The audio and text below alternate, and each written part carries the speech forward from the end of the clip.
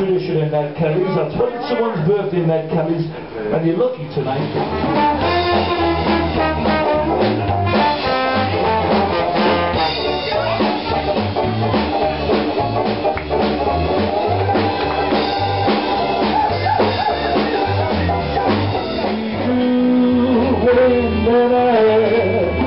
Life without.